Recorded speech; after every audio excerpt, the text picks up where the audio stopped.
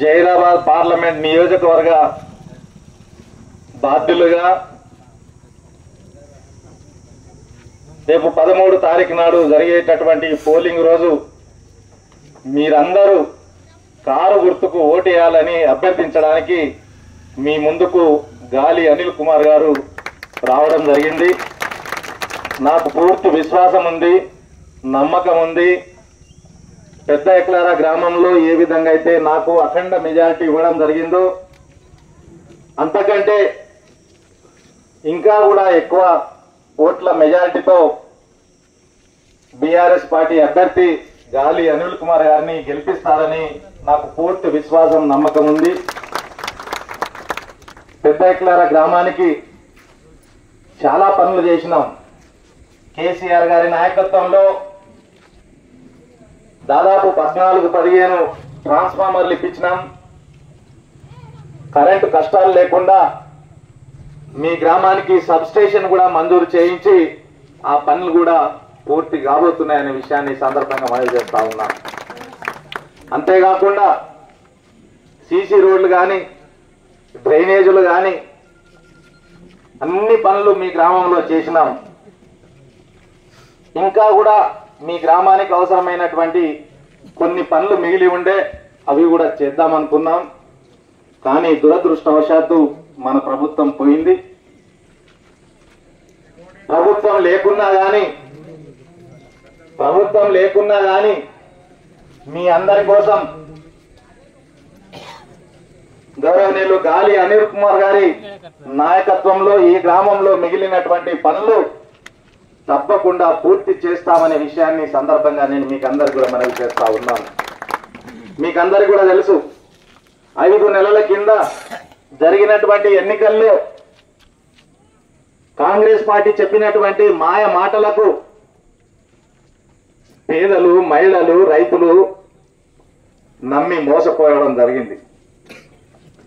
రైతు బంధు కింద మీకందరికి కూడా తెలుసు లాగోడి కింద రైతు బంధు పేరు మీద ఎకరానికి సంవత్సరానికి రెండు పంటలకు గాను పదివేల రూపాయలు సహాయం చేసినాం.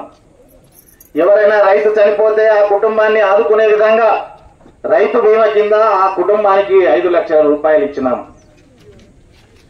ఇరవై బోర్ బావి కింద వ్యవసాయం చేసుకునే రైతులకు ఇరవై నాలుగు గంటల కరెంట్ ఇచ్చినాం. రైతులు ఈ పెద్ద గ్రామంలో ఉన్నటువంటి రైతులందరూ కూడా ఆలోచన చేయాలి. పదివేలకు బదులు పదిహేను వేలు ఇస్తామన్నారు. రెండు లక్షల రుణమాఫీ చేస్తామన్నారు. కౌలు రైతులకు కూడా పదిహేను వేలు ఇస్తా అన్నారు. రైతు కూలీలకు కూడా నెలకు వెయ్యి చొప్పున పన్నెండు వేల రూపాయలు సంవత్సరానికి ఇస్తా అన్నారు. వడ్లు పండిస్తే క్వింటాల్కు ఐదు వందలు బోనస్ ఇస్తా అన్నారు. ఈ కాంగ్రెస్ పార్టీ ఇచ్చినటువంటి హామీలకు మోసపోయి ఓట్లేసినారు. ఈ ఐదు నెలలు అవుతుంది కేసీఆర్ ఇచ్చే రైతు బంధు కూడా ఇవ్వట్లేదు. పదివేలు అందరికి రాలే. కొందరికే వచ్చింది. అదే విధంగా కౌలు రైతులకు రాలే. రైతు కూలీలకు లేదు. ఆఖరికి కేసీఆర్ ఇచ్చే ఇరవై నాలుగు గంటల కరెంటు కూడా ఉంటలేదనే విషయాన్ని సందర్భంగా నేను మీకు అందరు కూడా మనవి చేస్తా ఉన్నాను. మళ్ళొకసారి మోసపోయి కాంగ్రెస్ పార్టీకి ఓటేస్తే మేము ఎన్ని చెప్పినా మళ్ళా మేము చేయకున్నా మళ్ళా మాకే ఓటేసిరని వారు ఇచ్చినటువంటి హామీలు నిలబెట్టుకో నిలబెట్టుకోరు.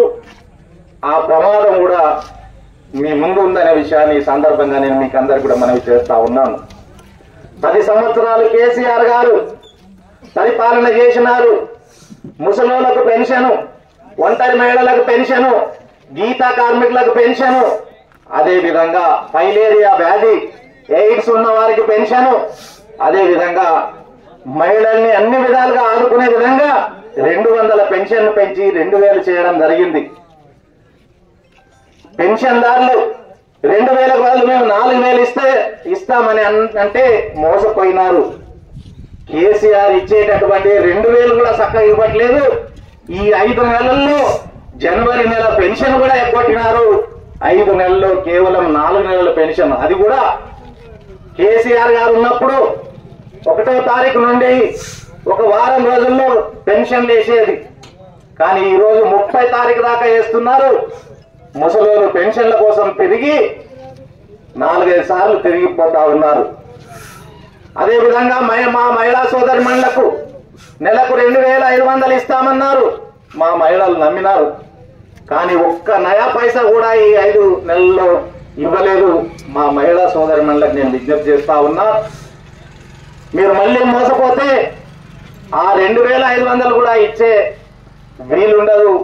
కాబట్టి దయచేసి రైతులు పెన్షన్దారులు మహిళలు పేదలు అందరూ కూడా ఆలోచన చేయాలి. ఈరోజు పది సంవత్సరాల పరిపాలనలో కేసీఆర్ గారు ఏమేం చేశారో మీకు తెలుసు. ప్రతి ఇంట్లో ఏదో ఒక రూపంలో కేసీఆర్ గారు పంపించినటువంటి పథకం ఉంది. అదేవిధంగా కేసీఆర్ గారితో పాటు కేంద్రంలో బీజేపీ కూడా పది సంవత్సరాలు పరిపాలన చేసింది. మరి కేసీఆర్ గారు చేసినటువంటి పనులేంటి? బీజేపీ చేసినటువంటి పనులేంటి మీకు అందరు కూడా తెలుసు. ఒక్కటి ఒక్క వ్యక్తిని లేపి అడిగినా వంద పనులు కేసీఆర్ గారు చేసిరని చెప్తాడు.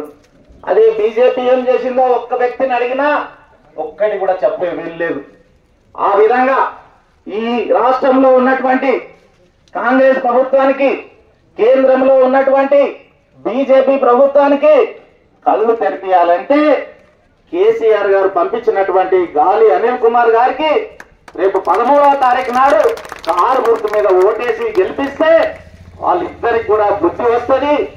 మీకు ఇచ్చినటువంటి హామీ నిలబెట్టుకునే వీలుంటదనే విషయాన్ని ఈ సందర్భంగా నేను మీకు అందరికి కూడా మనవి చేస్తూ తప్పకుండా రాబోయే రోజుల్లో మన తెలంగాణ రాష్ట్రానికి మన జుక్కల్ నియోజకవర్గానికి జైరాబాద్ పార్లమెంట్ నియోజకవర్గానికి అవసరమైనటువంటి పనులు కేంద్రంలో పార్లమెంట్లో మరి కేంద్ర ప్రభుత్వంతో పోరాడి మన పనులన్నీ కూడా సాధించి పెట్టడానికి గాలి అనిల్ కుమార్ అన్న సిద్ధంగా ఉన్నారు.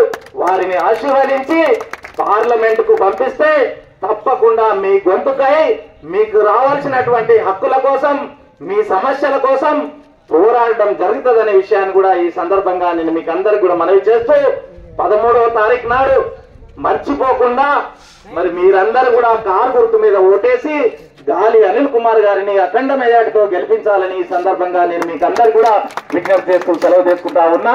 జై తెలంగాణను నన్ను జయరాబాద్ బీఆర్ఎస్ అభ్యర్థిగా ప్రకటించి మీ మధ్యనకు పంపించారు మీరందరూ కూడా నన్ను ఆశీర్వదిస్తారని చెప్పి నేను కోరుతా ఉన్నా. మరి మే పదమూడు నాడు పార్లమెంట్ ఎలక్షన్ జరగబోతా ఉన్నాయి. మరి పార్లమెంట్ ఎలక్షన్లో కారు గుర్తు మీద ఓటేసి నన్ను గెలిపిస్తే మరి నేను మీ కుటుంబ సభ్యునిగా మీ యొక్క గొంతుకగా నేను చేస్తా అని చెప్పి ఉంటా అని చెప్పి సందర్భంగా తెలియజేస్తా ఉన్నా. అట్లాగే మరి చాలా మంది యువత వలసలు పోతా ఉన్నారు ఈ ప్రాంతం నుంచి. యువతకు జాబ్లు వచ్చే విధంగా మన ప్రాంతంలో నిమ్స్ ఏర్పడ్డది. వాళ్ళందరికీ స్కిల్ డెవలప్మెంట్ ప్రోగ్రామ్స్ ఇప్పించి వాళ్ళకి జాబ్స్ కూడా ఏర్పాటు చేస్తానని చెప్పి సందర్భంగా తెలియజేస్తా ఉన్నా. అట్లాగే ప్రతి నియోజకవర్గ కేంద్రంలో జాబ్ మేళలు పెట్టించి అర్హులైన వారికి అందరికీ కూడా జాబ్స్ ఇప్పిస్తానని చెప్పి సందర్భంగా తెలియజేస్తా ఉన్నా. మరి రైతాంగం ఎక్కువ మన ప్రాంతంలో. రైతులకు కూడా కావాల్సిన హక్కుల మీద నేను పోరాడి రైతుల పక్షాన ఉంటానని చెప్పి సందర్భంగా తెలియజేస్తా ఉన్నా. మరి ఈరోజు బీజేపీ అభ్యర్థి అట్లాగే కాంగ్రెస్ అభ్యర్థి ఇద్దరు కూడా మన వైపు వస్తా ఉన్నారు. మరి బీజేపీ కాంగ్రెస్ కేసీఆర్ గారు ప్రతి కుటుంబానికి సంక్షేమ పథకాలు వచ్చినాయి. వచ్చినాయా లేదా ప్రతి కుటుంబానికి? ఇంట్లో ఒక్కరున్నా ఇద్దరున్నా కేసీఆర్ గారి సంక్షేమ పథకాలు వచ్చినాయి. మరి ఈ ప్రభుత్వం వచ్చేసి నుంచి ఏం చేయలేదు. మీరు మరి ఈరోజు ప్రతి అక్క జిల్లాలకు ఇరవై ఐదు వందల రూపాయలు ఇస్తాను చెప్పిండు. ఇచ్చిందా ఎవరికైనా? మా అక్క మా చెల్లెళ్ళ స్కూటీ ఇస్తాన్నారు ఇచ్చిందా నాలుగు వేలు పింఛన్ ఇస్తున్నారు ఇచ్చిందా గవర్నమెంట్? మరి నిరుద్యోగ వృత్తి నాలుగు వేలు ఇస్తున్నారు ఇచ్చిందా మరి రైతు రుణమాఫీ చేసిండా? డిసెంబర్ తొమ్మిది నాడే రుణమాఫీ చేస్తా అని చెప్పిండు. చేసిండా? ఆ? మరి అట్లాంటి వాళ్ళకి ఓటేస్తారా మీరు మళ్ళా? అందుకనే మరి పదిహేను వేలు ఆశ చెప్పి ఓట్లు వేయించుకొని రైతు బంధు రుణమాఫీ చేస్తాని కేసీఆర్ రుణమాఫీ చేస్తా ఉంటే దాన్ని ఆపిచ్చి ఏడు వేల కోట్లు ఆ ఏడు వేల కోట్లు వాళ్ళ కాంట్రాక్ట్ వాళ్ళందరూ కూడా పంచుకున్నారు ఇలా ఇయ్యాలంటే కూడా రైతు రుణమాఫీ రైతులు కాలేదు మనకు. పదిహేను వేలు వేసాని అదే నాలుగైదు వేలకు వేసిండు మనకు. వేసిండే లేదా? అందుకనే వాళ్ళు ఏం చేయకుండా మళ్ళీ మాకు ఓటేసారని అనుకుంటారు. ఎవ్వరు కూడా కాంగ్రెస్ కానీ బీజేపీ కానీ వేయద్దు ఎందుకంటే మోడీ రైతుల వ్యతిరేక పక్షం చేస్తాడు ఎందుకంటే ఆయన అన్ని నల్ల చట్టాలు రైతు రైతులకు నల్ల చట్టాలు తీసుకొచ్చిండు. అట్లాగే నల్లధనం తీసుకొచ్చి ప్రతి ఒక్కరి అకౌంట్ పదిహేను లక్షల రూపాయలు వేస్తానని వేసింది ఎవరికన్నా? అందుకనే వాళ్ళకి బాగా బుద్ధి చెప్పాలి ఈరోజు. బీజేపీ కానీ కాంగ్రెస్ కానీ మీరు మీరు పదమూడు తారీఖు నాడు పార్లమెంట్ ఎలక్షన్ కాబోతున్నాయి కాబట్టి మరి కారు గుర్తు మీద ఓటేసి భారీ మెజార్టీ నాకు గెలిపిస్తే మీ యొక్క కుటుంబ సభ్యునిగా నేను ఉంటానని చెప్పి మీ సమస్యల మీద నేను పోరాడతా అని చెప్పి సందర్భంగా తెలియజేస్తా ఉన్నా. మరి ఇక్కడ పెద్దలు మన హనుమాన్ ఉన్నారు. మరి పదేళ్ళలో మీకు ఎంత అభివృద్ధి చేసిందో మీ అందరికీ తెలుసు. కేసీఆర్ గారి నాయకత్వంలో అంతకుముందు ఎట్లా ఉండే? మన రోడ్లు సరిగ్గా లేకుండే కరెంటు సరిగ్గా లేకుండే. మరి అసలు డెవలప్మెంటే లేదు మనకి. అట్లాంటి పరిస్థితిలో ఈరోజు పెద్దలు మీకు ఎంతో డెవలప్మెంట్ చేసింది ఈరోజు. అందుకనే గుర్తు పెట్టుకోండి బాగా.